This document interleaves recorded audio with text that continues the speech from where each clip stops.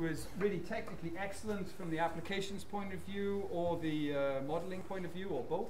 Um, it was a real pleasure to attend and uh, it, most of the people I didn't even know. So it shows how big the GP community uh, can be.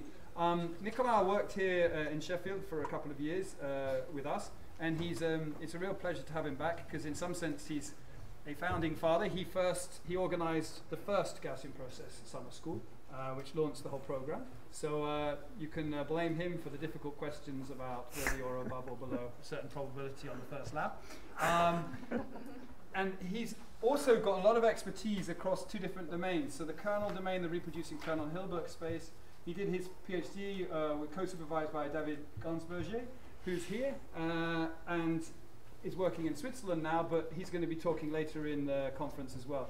So he's the ideal person to sort of talk a little bit about kernel design, and I expect he may not, but I expect he'll relate a little bit some of the ideas we talked about today to some reproducing kernel Hilbert space ideas as well. He may not. I've said he's going to talk about lots of things. Maybe yeah, yeah, you, you gave me a lot of work uh, this morning. he's going to mop up the day, and now you'll understand everything. Over to you, Nicola. Thank you very much, Neil. So, I will be talking about uh, kernel design for, for this talk. And this is basically the outline of the talk. So first we'll talk about what's a kernel. So your question from this morning about is something positive definite or semi-positive definite? If you have questions about that, uh, I can, I will try to address that during this um, question in this section. And then a link on how to create new kernels, how to modify kernels, and um, then we see some interesting things about uh, what's happened when you apply a linear operator to a Gaussian process. Uh, so uh, I will first recall some uh, definitions. And even before talking about a Gaussian process, what is basically a random process? Because the way Neil introduced that this notion this morning was from a vector and saying from this vector you can have something continuous that will go through the points. But basically one thing uh, one needs to have in mind when he's talking about a random process.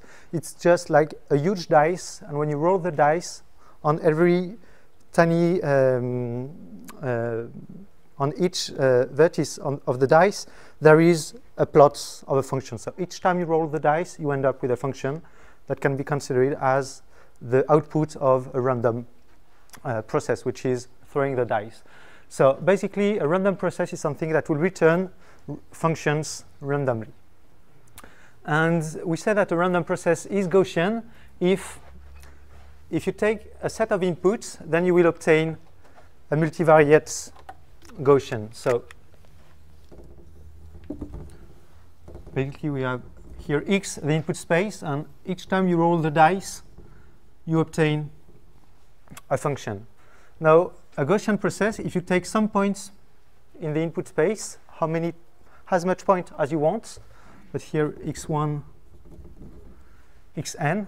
If you cut the evaluation of one sample at all these points, this gives you a vector, a point in the n-dimensional space, and we want a process will be Gaussian if this random vector is multivariate normal.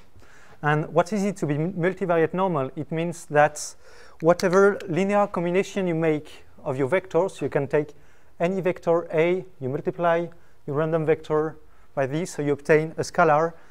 This scalar is random because you multiply a constant vector by a random vector. And so the new value you obtain is Gaussian. Okay, so any linear combination of a multivariate Gaussian will be a scalar that is Gaussian distributed. So this is basically how you go from random process to uh, a Gaussian process, Gaussian vector. So yeah, this was just to recall some definitions. Uh, so here's some examples of the samples of a Gaussian process. I think you, you've seen similar things during, during the lab. So what Neil explained this morning is that the distribution of a Gaussian process is characterized by two things a mean function and a covariance function that is a function of two inputs that returns the covariance between the evaluation of the process at these two points. So in the talk, I'm going to focus on this object, the covariance function, or the kernel. So, um, so what about Gaussian process regression? So we assume we have observed a function f for a few points. So we have some observation points, and we want from that to draw a model. So we can make the assumption that the function we want to look at corresponds to one sample path of a Gaussian process. So now what can we do if we want to combine the data we have and this assumption, this prior we have on the function? So one thing we could do is to remove all the functions that do not go through the observation points and we end up with this which is basically the conditional distribution of our Gaussian process, knowing that it interpolates the data points. So this is basically Gaussian process regression. So we look at a conditional Gaussian process, and this is what we what we obtain. So um, if we write the algebra, it looks like that. So the mean of the model is defined as the expectation of the pr process knowing that it interpolates. And we have these matrix multiplications to give to give us the expression of the mean. And we have something similar a matrix multiplication for the expression of the conditional covariance of the Gaussian process. And so we can plot that as a mean and uh, confidence intervals Uh, okay so if we look at these two expressions we are assuming something here on a Gaussian process. We're assuming that our evaluations come from the, or the function we want to study is a sample path from a Gaussian process. But if we look at on the right, the two expressions, they only depend on the kernel k. So this is the key object that appears when you start looking at the conditional distribution. They really depends on the covariance function of the process. So what is a kernel? So if we take that any random process, so we don't assume here that it's Gaussian, it's just a random process, and we'll see what we can say about, about K. So um, here's some property we can derive directly from the definition. So if we evaluate the kernel in uh, the same point twice, so this is the covariance between z of x and z of x. So this is a variance so this has to be positive or non-negative. And um, similarly, a covariance is symmetric, so this implies that the kernel is also a symmetric function. So this is immediate result, but we can obtain a result that is a bit thinner. And so if we introduce a random variable t that is a linear combination of some evaluation of the process, if we compute the variance of t, we obtain this expression. So in a matrix fashion, it would be t is equal to A transpose z of x. So I, I, evaluate z at all the points of x, and I multiply that by a vector t. And so the variance of t will be equal to uh, A transpose times the covariance matrix of Z evaluated at X times A. So this will be a scalar. We have a vector, a matrix, and a vector here. This is a variance. So it means that this quantity can be negative. And here we, we recover that a, a kernel necessarily is positive semi-definite. Why semi-definite? Because here we can't say that a variance has to be, a variance can be null, actually. For it's a degenerate case, but a variance can be equal to zero. So this is why you obtain this quantity, so, so that any kernel without any Gaussian assumption is something that is positive, semi-definite. Any question on, on that? Okay. So if furthermore we assume that k is a stationary function, so I don't know if you've noticed, but most of the covariance that you've seen this morning, so for example, the RBF covariance is a function that depends only on the difference between x and y. So all the covariance where that can be written as a function of the difference, so x and y does not appear only through their difference, are called stationary covariance functions. Uh, most of the common covariance functions are stationary covariance functions. And we can have some further property for, for these. So for example, if the kernel is differentiable n times in 0, then you can differentiate it everywhere n times. So this, for example, shows that this quantity cannot be a, um, a positive definite function. This one either, so this one is um, differentiable here, but not differentiable there. So it can be uh, positive semi-definite, and this one is the same. It's continuous here, but it's discontinuous here. So this can be a positive semi-definite functions. So there was a question this morning about uh, can a kernel be discontinuous? Yes, but if it is stationary, it can only be discontinuous in zeros. And uh, another one about the maximum values of a stationary kernel. The maximum value of a kernel has to be in zero. So this, for example, will never be a kernel. Uh, so we've seen and we've proved that if k is a covariance, then k is a positive semi-definite function, but the opposite is also true. You can use any positive semi-definite function as uh, the covariance of a Gaussian process. So there is an equivalence between these two concepts. You can use one in place of the other. Yeah.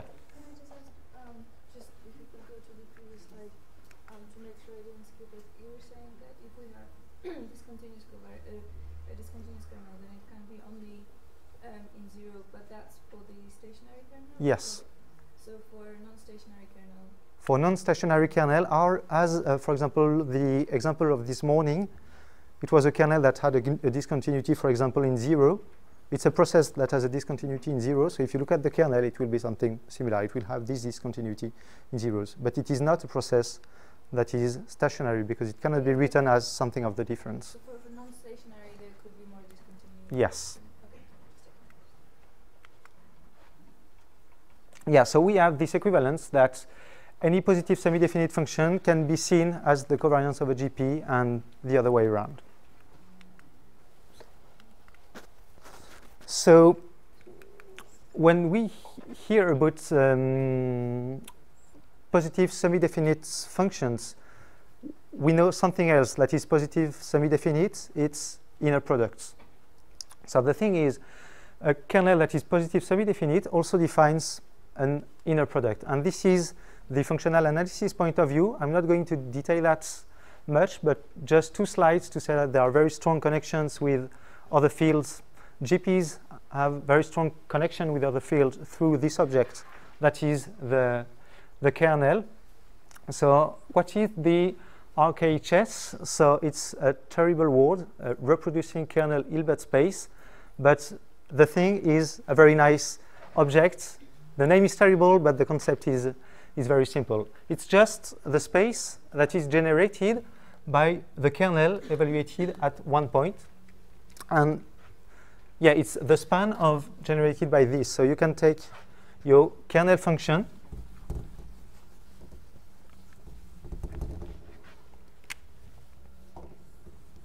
you choose some points, uh, as many points as you want, then you can have your kernel functions center on these points. This does not have to be a regular grid, it's whatever you want. And then you make a linear combination of these functions, and that will give you something like that, for example. So this function here, we call it h, is a function that live into the space called the RKHS. And we have an inner product associated to this space, which is defined like that. So if H is equal to, say, alpha transpose uh, K of uh, x h2 equal to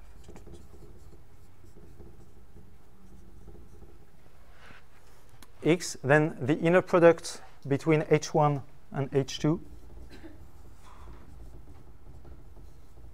will be equal to A transpose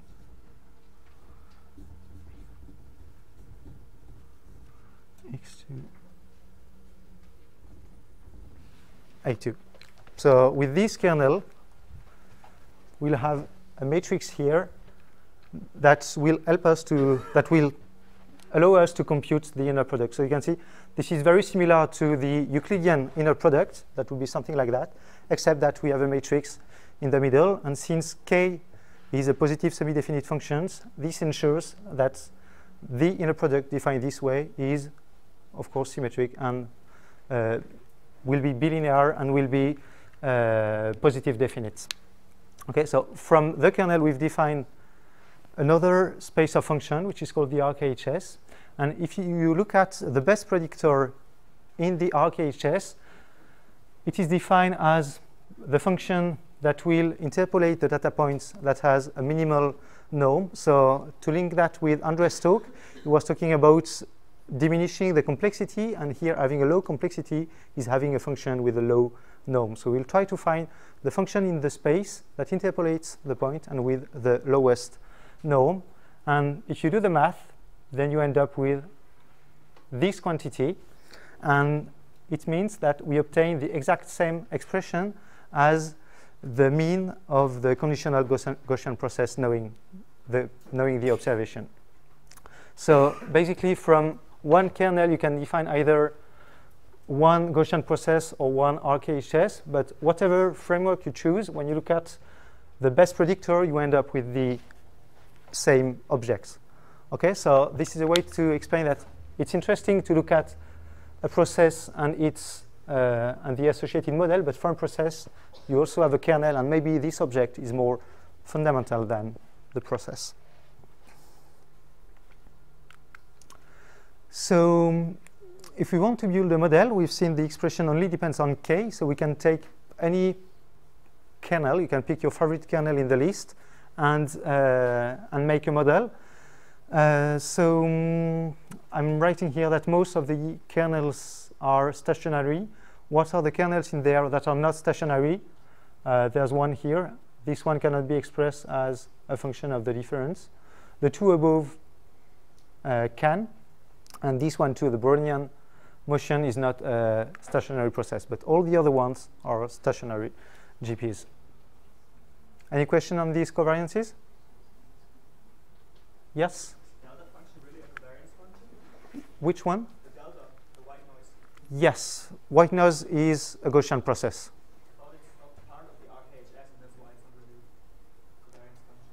really. Uh, no, no, you can associate an RKHS to, to the white noise. It will just be, you can start from this definition, it will just be a function with spikes in some points, and this will be the RKHS associated to, to this kernel.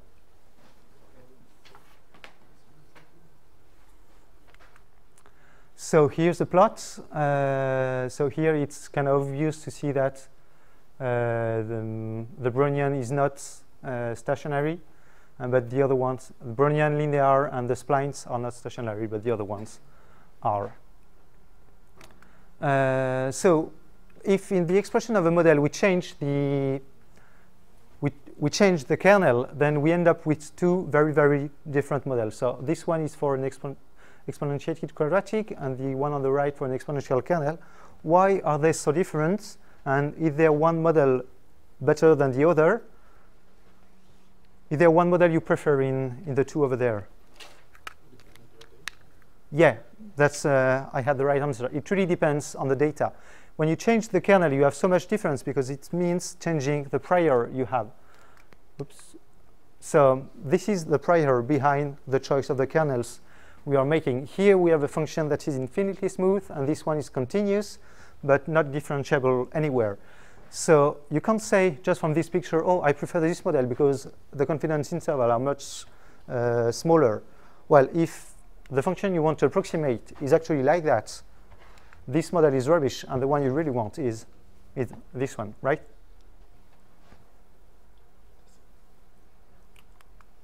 Okay. So mm, we've seen some of the usual kernel. We've seen the definition of uh, positive semi-definite functions.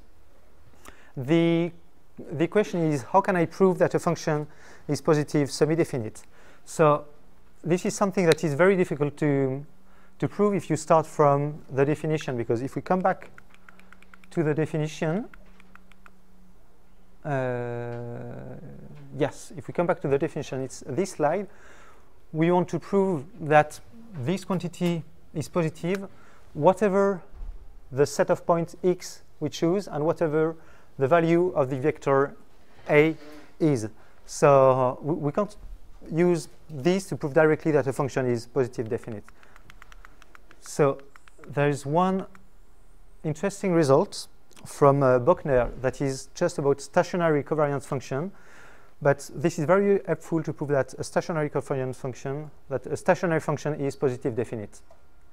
So it says that a function is positive, a stationary function is positive definite if and only if you can write that as uh, the Fourier transform of a positive measure. So if we start from the usual uh, yeah, so here is an example. So we take uh, this uh, measure here, which is positive. We take its Fourier transform. We obtain this, a sinc function. Uh, so this proves, this theorem proves that since this is positive, then this will be a positive definite function. So you can use sinc to build new models you can plug that. Yeah, I think it's already written in GPy, but yeah, you can use it because you can prove that it is positive definite using Bochner theorem. So if we take usual kernels, so for example, the Gaussian kernel, so the RBF for exponentiated quadratic is the Fourier transform of itself. So it is positive semi-definite. Matérn kernels are Fourier transform of things that have this uh, shape. So they also are positive semi-definite. And if you look at uh, distribution, then uh, the um, Dirac delta is the Fourier transform of the constant function. So the covariance of white noise is positive semi-definite. And uh, the other way around, the constant function is the Fourier transform of a Dirac delta. So it's positive definite. All right? Uh, there's some interesting work from uh, Andrew Wilson where he builds kernel starting from the spectrum of, of the kernel. So he takes a positive measure, and here he takes a sum of Gaussian, and he symmetrizes this sum of Gaussian to make sure after taking the Fourier transform, he will end up with something that is real uh, without any Im imaginary parts. So he takes a sum of Gaussian, so this will be parameterized by the mean of the bells he's summing and their variance and also uh, a scale. So we have basically a few parameters in this space to describe that. And it's actually quite easy to take the Fourier transform of this. And this is what we obtain on, on the right. So if we simulate sample path from this kernel, this is basically what we, what we obtain. Functions that are wavy, but not exactly periodic. But you can design covariance functions by their uh, spectrum. Uh, another popular thing to do is to, instead of uh, building a covariance function from scratch, is to take existing covariance functions and to try to, to combine them in order to make new covariance functions. So this is what we will see in this section.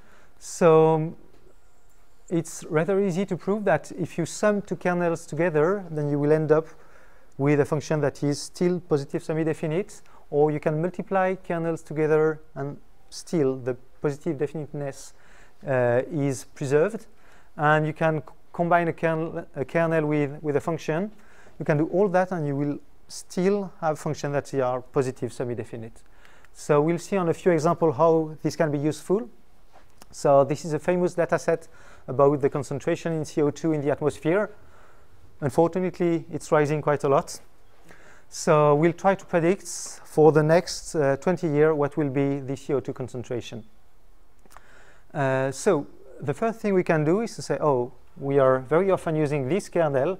Let's try to see the predictions of our model. And we can see that the two predictions are, are terrible. So what happened on the left? On the, on the left, we say, oh, when I look at my signal, I can see some high frequency oscillations.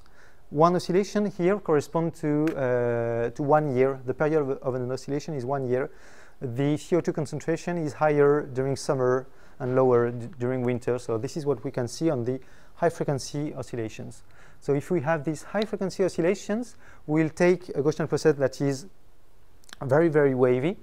And this is what we obtain for the model. So basically, the confidence intervals are OK, but the mean is very wrong because we don't believe that in five years there will be no carbon, no CO2 left in, in the atmosphere. The opposite thing on the right, it says, OK, so I do have some, some high frequency oscillations, but there, there is also a trend in my model.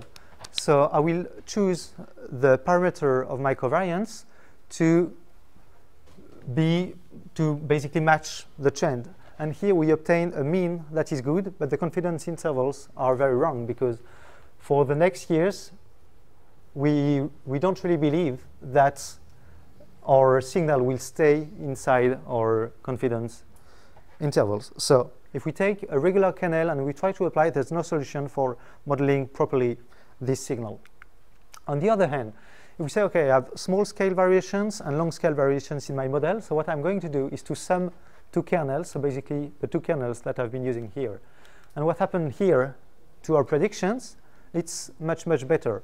One of the kernels stands for basically the trend, and another one with a smaller variance will take into account that we have small scales variation. So this model is much better than the two, we, the two models we had before because both here the mean and the confidence intervals make sense. But still, we can do better. If we look at here, we have the cycles of um, every year, and we could be interested in giving this information to, to the model. So the idea is, yeah, so the idea here is to add a kernel that will simulate periodic sample path. So basically, we give this degree of freedom to our model, saying, oh, there may be some periodic signal in it. And the first one is just to say, and there might be a, quadrat a quadratic trend in the signal too.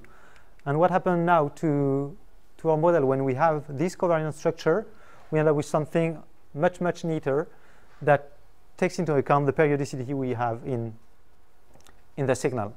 Okay, so just by summing kernels, any kernels individually is not good for uh, approximating this signal, but if you sum them together, then you end up with a model that is, that is good, right?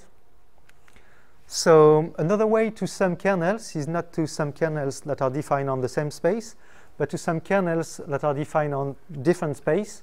So here, for example, I take the function here x is a vector and it's equal to the sum of the two kernels, so one in the first dimension and another one in the second dimension. So basically it can be represented this way. You have a function of x1, y1, 1, y1, sorry, a function of x2, y2, and then you sum them together to make a function of two variables here. So from a Gaussian process point of view, the kernel we obtain is the kernel of a process that is a sum of the process in x1 and another process in, in x2. So if we simulate sample path from this kernel, we obtain samples that are um, additive functions, so up to a modification if there are some probabilities in the audience.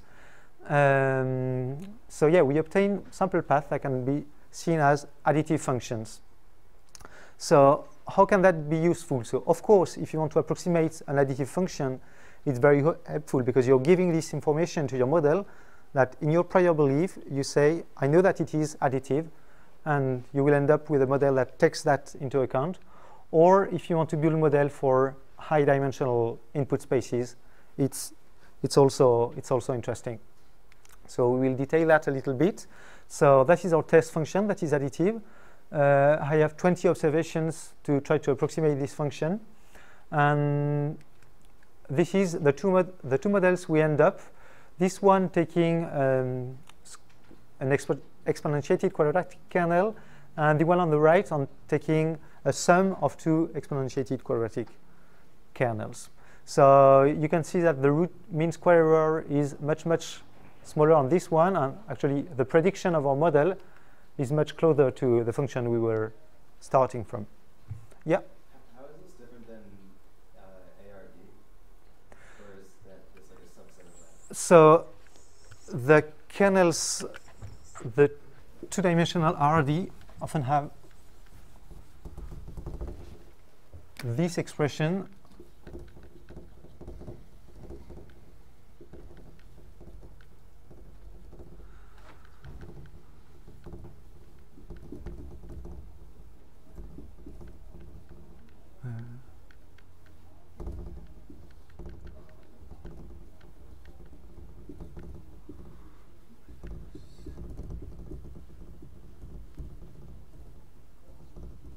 where you have one parameter here for each dimension.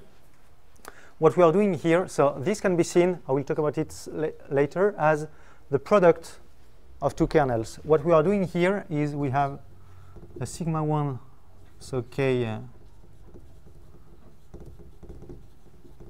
sigma 1 plus another kernel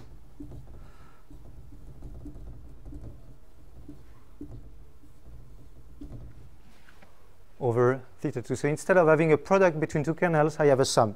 So in my two models, the one here is ARD, and this one is additive. But in a way, it still it still have its own uh, length scale parameters. Yes.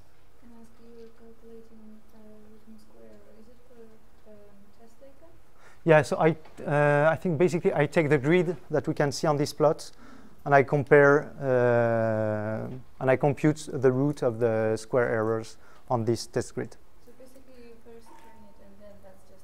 Yes. Um, so it's we can see that this mean here is an additive function, whereas here it's not, because on the right we put as an assumption in the model that our function will be additive. Yes. Only looking at the data, how do you know what kernel should you use? Uh, so that's a very good question. The, if you want to choose a kernel, you have choosing kernel is choosing the prior. So you have to choose a kernel uh, accordingly to what you believe about your function. So typically, if you know the differentiability of your function, you will choose a kernel accordingly that gives you sample path with the same regularity. And regarding the parameters of the kernel, because here I'm introducing parameters, uh, Neil will talk about that uh, tomorrow morning on how to estimate these parameters. So here, yeah, I assume that uh, that I know that my function is continuous. I'm choosing uh, these kernel because they will give me continuous models, infinitely differentiable actually. But yes. Yeah, the, how the differentiability of the sampling uh, path is related to the differentiability of the kernel. So you can answer that in the mean square sense, where you have a link between the differentiability of the kernel and the differentiability of the mean of your Gaussian process, which are basically uh, which will be the same. But if you look at the differentiability of the sample path, they will not be as smooth as as the kernel. Um, yeah. So so you have, for example, if you take uh, an exponential covariance, the mean will, so your kernel is basically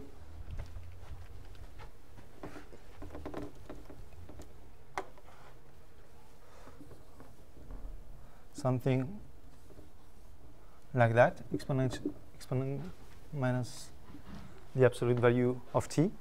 If you look at the sample path from this kernel, it's the one I was showing previously that are continuous but not differentiable anywhere. You obtain something that is like that. So basically, you lose orders of regularity when you go from the kernel to the sample path.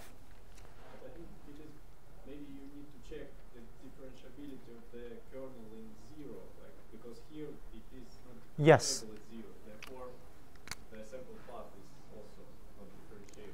Yeah, yeah. The differenti- for stationary kernel, the differentiability of the sample path are expressed as a function of the differentiability in zeros. But uh, yeah.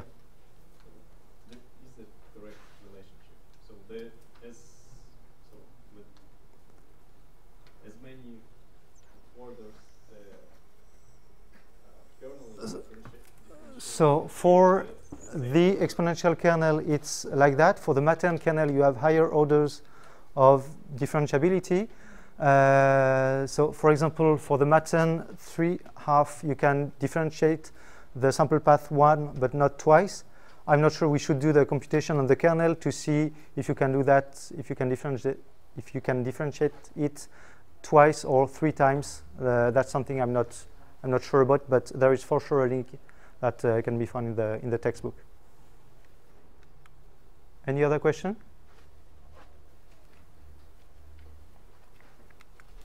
Uh, yes, sorry. If you want to choose a kernel uh, in a more automatic way, would it make sense to compare the likelihood of the data amongst different kernels and choose a kernel which gives the highest likelihood? Uh, yes, but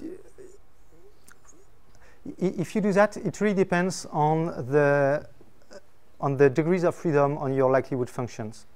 So you, you cannot, in general, compare that because if you add, uh, for example, if you compare two kernels where one is more complex than the other, for example, if you uh, if you compare one kernel and this kernel plus another kernel, then the likelihood of the one plus the other one will be greater than the first likelihood when you optimize the parameter because it's kind of a more general form. So you can retrieve the other one, but you can also possibly do better. So it, the likelihood of the optimized model will be better or equal to the other one.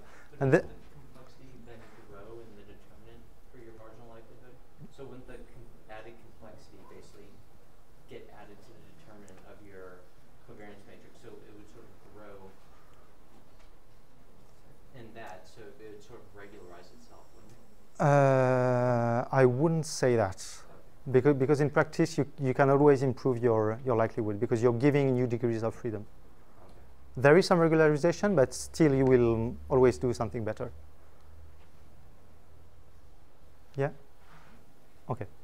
But if you like use marginal likelihood, then you are penalized for um complicate for more complicated model, right? So with I- If you, marginal- sorry?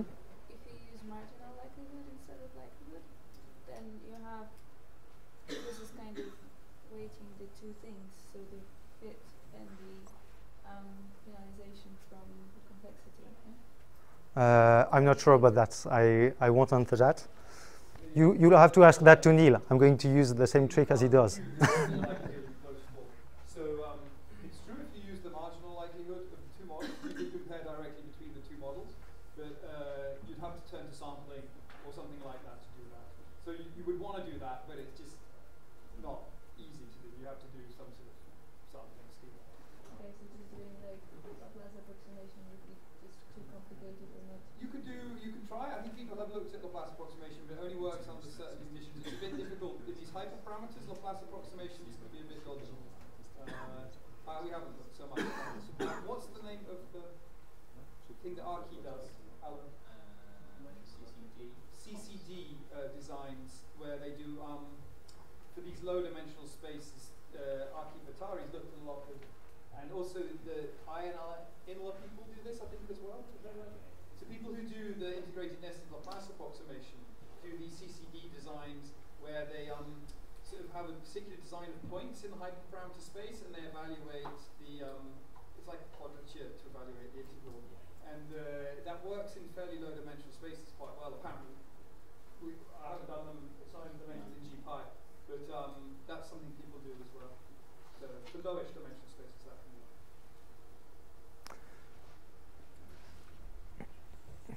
Yeah, so um, if you write the expression of the mean predictor, it has the, this is the usual expression, except that our kernel here is a sum of two kernels.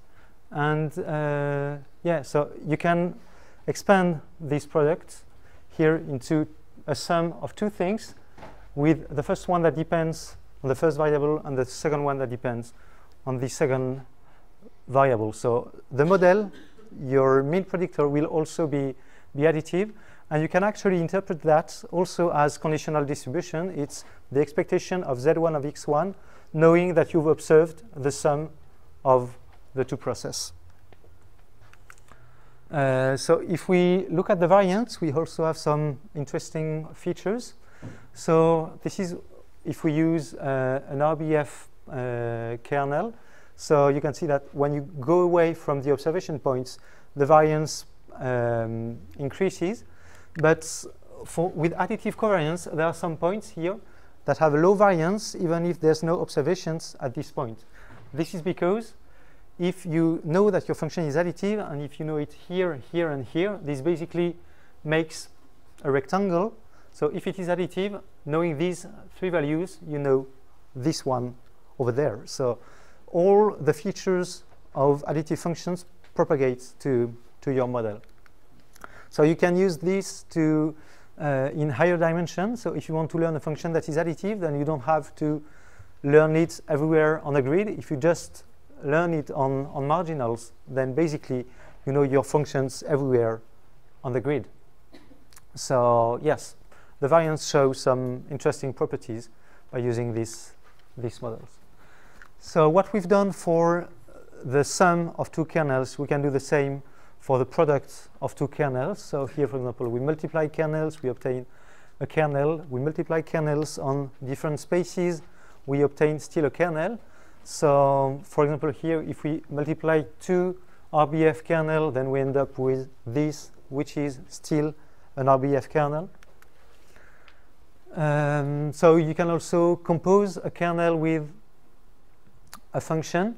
So you define a kernel k of x, y as some kernel evaluated in f of x and f of y. So this will also be positive definite. It's this one can be proved directly from from the definition. And uh, so here the new kernels we define can be seen as the covariance of a process that is equal to the first process that has a kernel k1 evaluated in f of x. So this is a nonlinear rescaling of the input space. So this is basically what we obtain on, on an example where we use this function for the rescaling. So here we are rescaling the input space. You can also rescale the um, the y the y space. Um, so this, for example, is a valid kernel. Can you can you tell me why? What operations have I been doing? How can you prove that whatever f is, this will be a valid covariance function?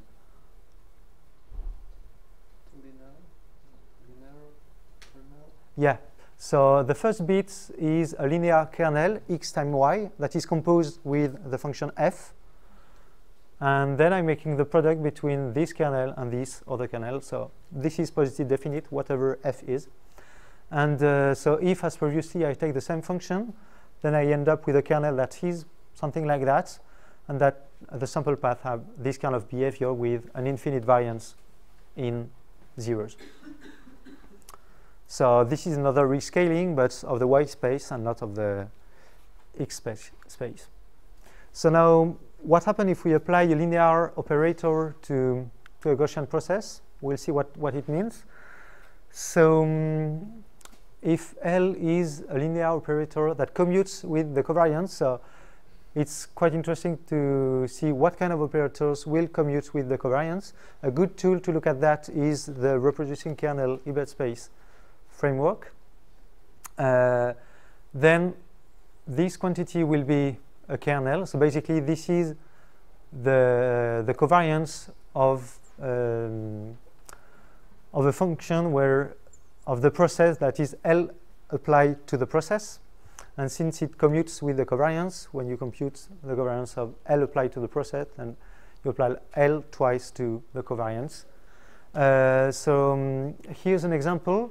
So you want to approximate a function that is symmetric. So here's two examples of operator that will take any functions and return a symmetric functions. So this one basically duplicates the part that is on the, le the left as a symmetric on the on the right, and this one average averages uh, the values uh, for symmetric inputs. So you can find a lot of details about that in uh, in a paper from from David, and I think he will talk about that in his his talk too. Um, so here's some examples of the sample path drawn from these uh, operators. So we can see that for the first operator, we do not respect the differentiability of the sample path we had from the beginning. So we are kind of losing some of the properties of the kernel by applying this operator, whereas here the sample paths are still infinitely differentiable as they were in the beginning. So it's just a way to say be, be careful about the operator you're, you're applying. But it's quite easy if you want to approximate a function that is symmetric to have a kernel that will take that into account. And so what we can see here is that from a function, have a projection of this function onto the space of symmetric functions is something quite easy. Here we have, for example, two operators doing that. But the question is, is there an optimal projection?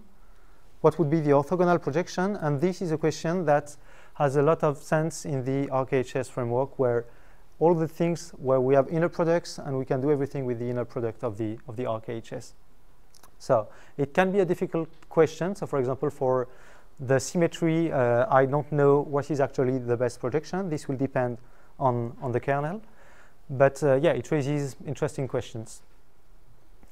So, um, so I, I, will show on an example that we can obtain uh, the optimal operator. So if we have information about the function we want to approximate, we know that it's a zero mean function. So if you integrate this function, we'll have exactly zero. So you want to tell that to, to your model. So the idea is to take a GP to find a projection to make it a function with that is such that every sample is zero mean. So if you integrate every sample, you will obtain zero. And then once we have this operator, we can define this new, this new process. So, uh, so it can be shown that the optimal projection operator has this, uh, has this form, and you can compute the kernel associated to this process, which is like that. So if you draw sample path from this kernel, then you will obtain sample path, and if you integrate them, you will obtain exactly, exactly zero. So I'm a bit running out of time, so I'm not going to detail the sensitivity analysis part, but these kind of kernels are very interesting in uh, sensitivity analysis because then they allow you very easily to look inside the model and to see what is the effect of the first variable, what is the effect of the second variable, and so on, or what are the effect of the interactions between various variables. So they are very helpful for deriving this kind of, of graphics. But I will talk uh, a little bit about periodicity detection. So this is some work I've been doing when I was in, in the lab in Sheffield. So we have some observations and we want to get the periodic part of, of this signal. So the thing we can do is to try to split the process into a sum of two processes where the first one is periodic and the second one is not periodic at all. So the thing we'll ask is we will ask uh, the periodic GP to be in the span of, of a Fourier basis. And what uh, you can prove is that the kernel of uh, the periodic GP has this expression where G is, uh, is a matrix that is called the Gram matrix. So it's the matrix of the inner products between the functions of the basis in the RKHS. So this is the periodic part of the kernel, and we can define the aperiodic part of the kernel or of the function to, as something that is orthogonal to the periodic functions, and this is, this is what you obtain. So as previously, since our kernel is a sum, we can write the model as the sum of submodels. And we have also variance for the submodels. So this is basically what we obtain. So from one model, we split that into two submodels. Uh, can we improve that? So this kernel here has uh, two parameters, uh, a variance and a length scale. So once we've written this kernel as a sum, we can choose to tune the variance and the length scale independently for every subkernel. So we can have one length scale and one variance for the periodic part and another one for the non-periodic part.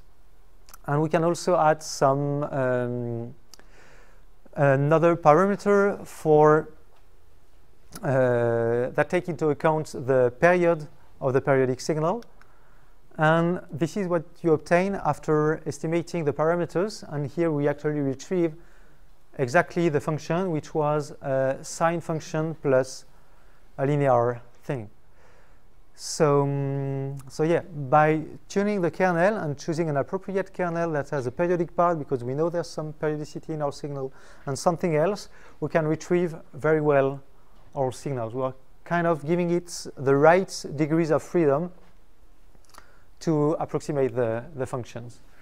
So yeah, I'd like to keep some time for answering the questions. So I'm not going to talk a lot about this, even if it's very interesting. I will just end up with this one. So um, what we are interested in this study is to detect among the entire genome what are the genes with a periodic expression. So we have, yeah, so yeah, so we, for these plants, it has 22,000 genes. We have 13 time points. So we make one observation of the gene activity every four hours, and then we look at what are the genes that are periodically expressed. And this is the one that can be found in the, in the literature.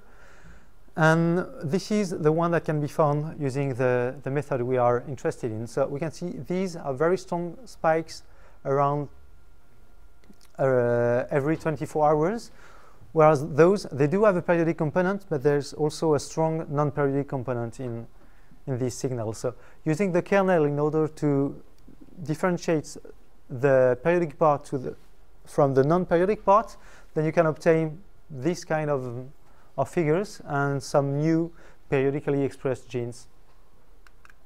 So as a conclusion, we've seen that kernels have a huge impact on, on the model you have to choose the kernel accordingly to the prior belief you have on, on the function. And they can and should be tailored to the problem at hand. If you have informations that you can, if, if you have information such that the theorem mean it's symmetric or whatever, where you can project a function onto this space, then, uh, then you will be able to, to build a kernel that takes this information into account. And uh, yes, yeah, so Bochner theorem is very interesting for proving the positive definiteness of stationary functions. And it's also a, an easy thing to do is to use existing kernel and to make transformations to, to them in order to, to obtain new kernels, for example, with, uh, with various length scales in it, so high and low frequency as on the CO2 dataset or and yeah, the last thing about the linear operator, if you have a linear operator that projects the function into the space you're interested in, then you can apply that twice to a kernel and you obtain a kernel that encodes the information you want. Uh, here's a few references, and yeah, the slides will be on the, on the website. Thank you for your attention.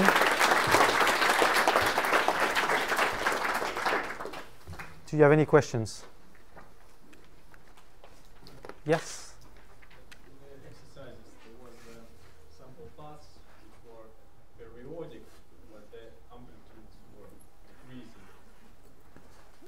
Uh, in this? Oh, yeah, yeah, yeah. The one we had from the Bochner theorem, right? One like that, for example.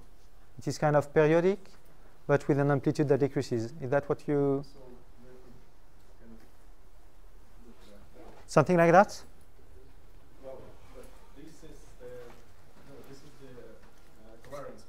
Yes. Okay. Uh, yes. Uh, these. Well, similar, yes, but You mean from the lab class or in the slides? the exercises we did before. So Ah, okay, okay. In the lab sessions, yeah. Yeah. Uh, yes. right. So we were supposed to find the kernels which uh, were generating the sample path. And I just wondered what kernel would be. I think that that's the Yeah, it's. RBF periodic or the, I can't remember. I can't remember because yeah. I wrote the exercise two years ago. I wrote this exercise two years ago, and uh, yeah, I can't remember. RBF cosine or RBF periodic. I think it's cosine. RBF time cosine. So Periodic kernel input. yeah, So I think it's the cosine multiplied by an RBF, isn't it? yeah, that. So So I think you had that, didn't you? It's a bit like um, the things that. yeah, this one. Yeah, I think it's that one. I have to look. Yeah. Yes. Do you use any any more automated way of getting your kernels, or is it always just educated guess? By more automatic, I mean that, for example, you have a special algorithm that first we're checking this set of kernels and seeing how much we can explain, and then see if we can add something to um, to improve it, or is it that? No, so, so I, I don't have this kind of uh, of algorithm in mind. I'm more using uh, expert knowledge. When uh, if someone asks me to make a model, I will ask him, okay, but tell me all you know about the thing you want me to to approximate, and I will bu- build the kernel accordingly. Yes. Okay. Is there, there, there, there is some, uh, I didn't really use it, so I don't know that much about it. But there, there is a thing in the toolbox that is trying to actually get the kernels in a more automatic way. So they say that they have like a kind of library of kernels that they use Yeah. and um, they they they say that they, they basically make like um, an infinite family out of that. So they start, for example, with linear. They see what's the. I think they're actually using marginal um, Likelihood. marginal Yeah. and they see if um, they exchange one of the kernels or add Yeah. one of the kernels, and if this improves in a substantial way. Um, I didn't manage to actually run that because I think it's not forbidden. Okay. Uh, or maybe it works in some special Hmm. cases. But, um, but I was wondering if, if you actually ever thought about this as a sensible approach. Yeah, I think it's uh, definitely a sensible thing to, to do. When another option, when you're not sure, you, is you basically sum all your kernels that you might think reasonable, and then you want your maximum likelihood to turn off some of the variance parameter. If it thinks there's nothing linear in your signal, then it will just put a zero variance associated to this kernel, to this part of the signal. So it's not a big deal to put too much in your kernel, and then you hope that the maximum likelihood will turn off the one that are not necessary. But uh, yeah, it's, it's one way of uh, looking at the problem. It's kind of better to put too much than not enough. Yes. That was basically a comment on that question, so it's the, the work from Ingrid, I assume? Yeah. Okay. Yes. The, the whole thing of having so many kernels available, I, I, I'm sorry. the, the whole thing of having so many kernels available to choose from, is Yes. a bit scary, isn't it? Because it opens up a lot of possibilities to go wrong, essentially. Yes. So I- I'm just, I mean, uh, the whole thing reminds me a bit of the good old, you know, days where you had different uh, machine learning algorithms and you did model selection and people came up, up with all kinds of ideas how to properly do model selection. So, and this is in a way the whole thing all over again, right? Yeah. So, so I'm just wondering, is there kind of a, a good practice about how to go about it, especially if you don't really know your problem sequence? Because then the only thing you can do is you can, you know, try it out and see on a holdout set or something how well does it, and that's it, right? Yeah. So is, is there any other way essentially to, to go about this in, in the context of course process? Yeah, so it's a bit related to the previous question. Like, if I have a library of kernel, how can I choose Yeah. in this library, or which combination of kernel in this library would be would be interesting? So yeah, it's not something I've been looking at uh, a lot, but yeah, for me, my, from my point of view, it's more. Uh, if someone asks you to make a model, you have to uh, okay, tell me about the thing you want to approximate and what kind of assumptions you, you're ready to make. People do, so Mauricio Alvarez at the back has a paper where you use uh, IBP, infinite binary processes, to combine many, many kernels together. So that's a sampling approach, which is different from this CCD thing that we talked about. Uh, I think the problem is that as you start exploring these, these uh, different approaches, you find you get a computational burden. So as you go much larger in terms of data, but you see then, but then you don't care. If you've got so much data, you'll determine these parameters well anyway. I mean, unless you, we, we go crazy with covariance functions in our research group, put a lot of parameters in them. But even if you combine 30 of these kernels, you have 30 parameters. So if you have 20,000 data points, fitting 30 parameters to those is not such a big deal. You can do some hybrid Monte Carlo sampling over them as well. That's implemented in GPy. So you've got a number of different options. It's not really a big headache. It's like sort of saying, it is the same sort of challenge as like when you try and buy a sandwich in the United States. You can't just buy a sandwich. They say, well, did you want this bread or that? You know, do you want Swiss cheese? Eight different types of cheese. You know, and it's a bit stressful if you just want a damn sandwich. But if you really care about the form of your sandwich because you're looking for a specific form of sandwich, then it's very powerful.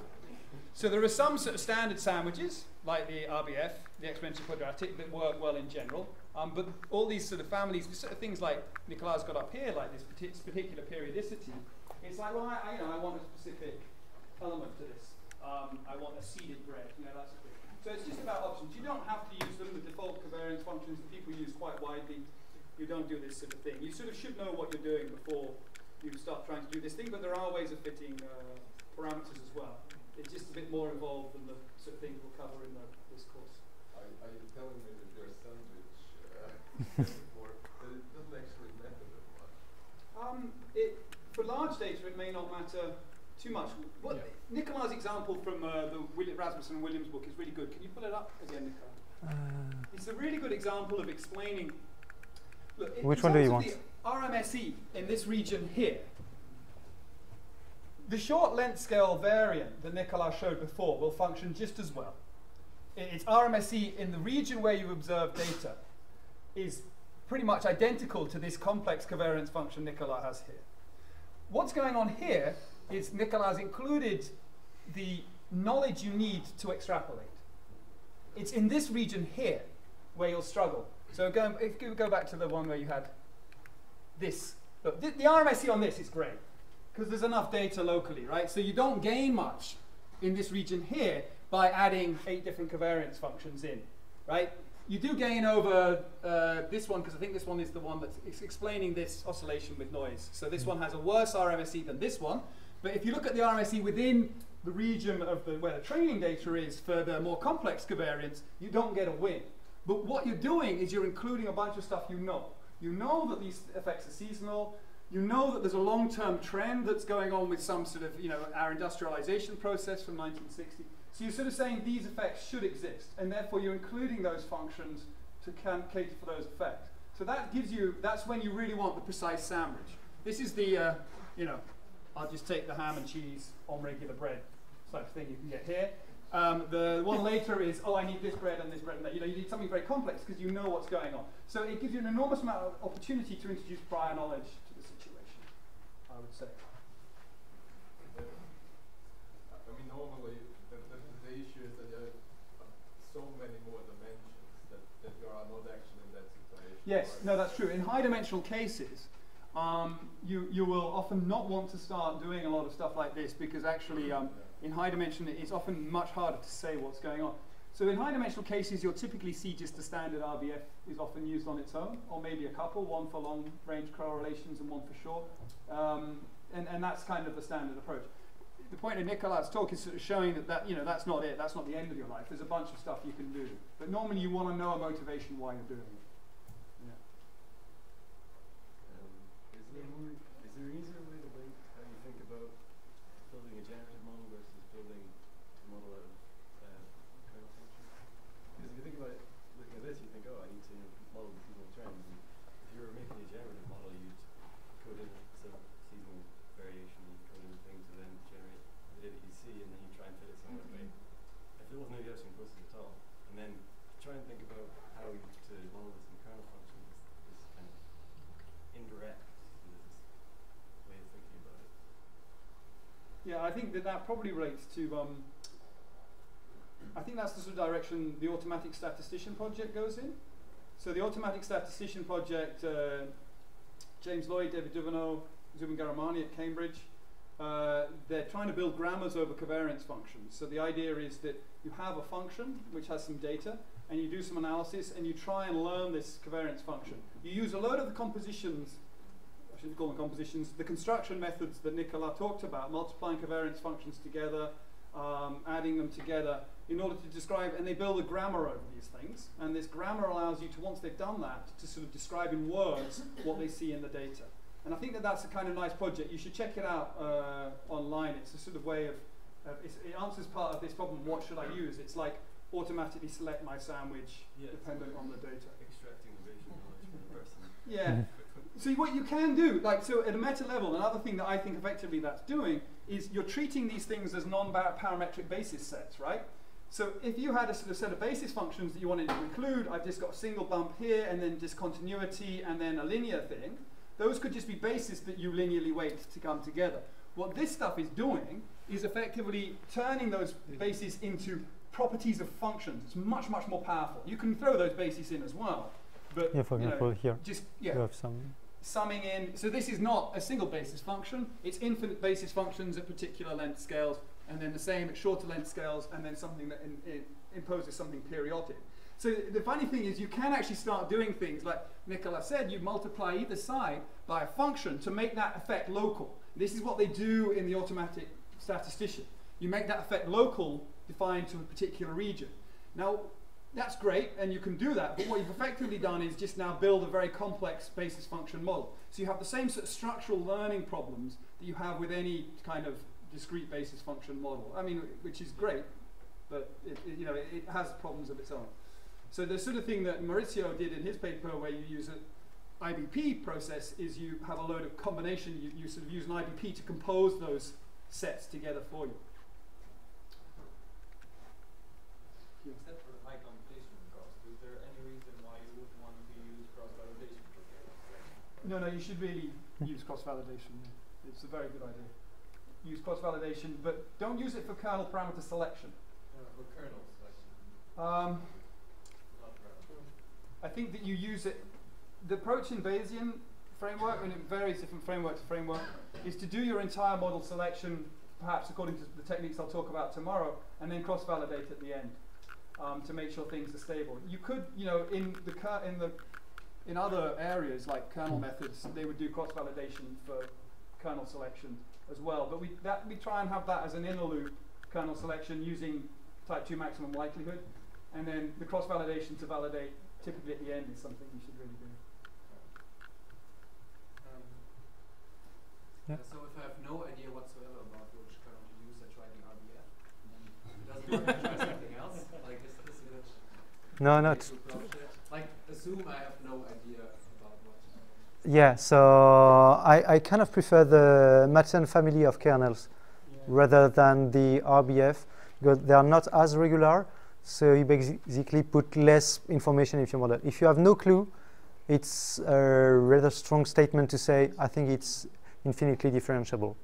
If you have no clue, say, okay, maybe it's more sensible to say, I can differentiate that uh, once or twice, but not much more. So Nicolas referring to say a Matern 5.2. Um, I think that, that that's a very good point. It's less important with high dimensional inputs. Yeah. Because with high dimensional inputs, you never, what happens, the reason you shouldn't use this infinitely smooth thing is one dimensional inputs, if you start seeing data really close together, the um, differentiability of the function will somehow become identifiable. You basically realize that the fu- thing isn't infinitely smooth, and then the the RBF covariance becomes a very bad idea. In high dimensions, you, you don't really ever Yeah. see data that close to itself to ever identify that. So um, that's why sort of the generic one you'll see in high dimensions is the RBF because it's quicker to compute, I think, than the Matern um, Yeah. 7.2. But Nicolas is absolutely right. That probably you should re- prefer um, Matern 7.2 or Matern 5.2 as basic choices for, for time series, which is you might wonder why he didn't use them here. but interestingly, you only have to add one. You only have to add one. So that, that, that's a one thing I've argued, or I don't think I've seen it anywhere written down. You could put an RBF here. Once you've added the Matern 5 and 2 to it, you basically destroyed the differentiability of that RBF. You don't need to Yeah. add it twice. You don't even have to put it in once because you can, you know, uh, if you add a function that's only three times differentiable to a function that's infinitely differentiable, your result will be a function that's three times differentiable. So you don't need to worry about adding it in every place. But uh, it probably, if he'd stuck to his own rule, he would have put uh, Matérn Yeah. five two over here. Yeah. Yeah. Why is it so important to match the differentiability of the, function? Why It- is it such a good thing to work with integers? No, it's not that it's such a good thing. It's just it's bad not to do it because if you know something, don't put something else as information in your in your model. And if you look at the covariance, one thing that distinguishes them very easily is their differ- differentiability. But uh, but yeah, you you can find other other things like uh, yeah other criterion like is it stationary or not? That's also a very important question to ask. Do you think can if you translate the thing, you do you expect you will end up with the same kind of problem? And if the answer is yes, then you go for stationary covariance. If the answer is no, then you go for a non-stationary covariance, for example. Yeah, so uh, is it presumably a best idea to always keep um like as general a space as possible then? Because as with like little data and stuff that we converge to minimize the KL divergence of the true function and ours, so if we keep it as general as possible, we're not like we're not limiting ourselves to just a, some specific function. It as general as possible would just mean as short a length scale as possible. Well it does for an RBF, but not necessarily for all In general, but that's what it sort of, it, it leads to belief in existence of more complex functions. So in some sense, um, the example that uh, Nicola has here is this, this in some sense is a more general covariance function. Uh, probably if you look at the determinant of this covariance here, than the structured one here. Even though it's only got one term, I think that that's probably the case. So I, and it's, you have to be careful about how you define more general. It can certainly cover a larger number of data sets than this one hmm. can. This one's quite specific about the data sets it can cover. So it's, I don't know, it's, some of the concepts of what overfitting is and all these things don't really make much sense in Gaussian processes because they're contingent on a model that's defined conditionally independent on the data. And that's not what, how these models are defined. So it's sort of, the la- I'm not sure I understood your sort of, when you say more general, what you mean. Covers more different you want to make sure your function stays inside the space that you're modeling. Yeah, if you're starting sort of covering as large a space as functions as possible, that seems to me to be a very bad idea because you're not actually including information in your modeling, potentially. Hmm. You know, you should only be uh, sufficiently general about the space of functions you want to cover as you believe. So yeah, cover a large space of functions if you don't know what's going on, but if you know what's going on, you should be eliminating functions that you believe aren't existing in your space. Yeah.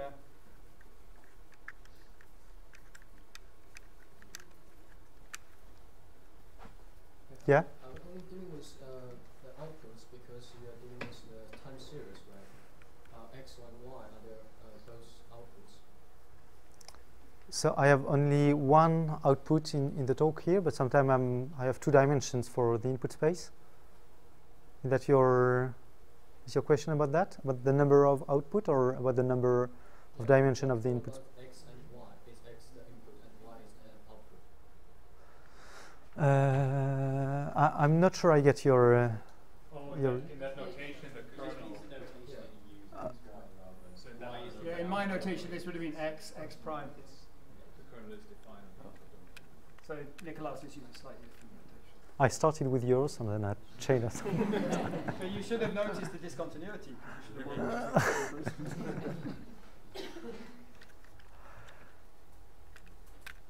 Good. Um, Javier, is there a particular designated public house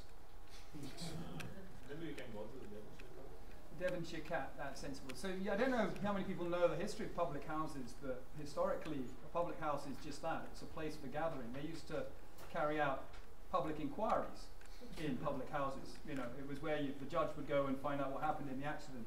So on that basis, it's an absolutely uh, sensible place to go uh, to do uh, more discussion of Gaussian process models. Um, so uh, there's, there's food available there. So uh, if, if people sort of say, there's, and there's a wide range of beers. So um, if people want to head down there at whatever time, is there a particular time that people you'd expect people to be down there? I don't know. Yeah, maybe we can do that in half an hour. Half an hour, just wander down there. It's not far away. It's over Devonshire Green, and then more conversation can occur over beers about how the way Gaussian processes operate. Yeah, that sounds good. Okay. Thanks very much, Nicola.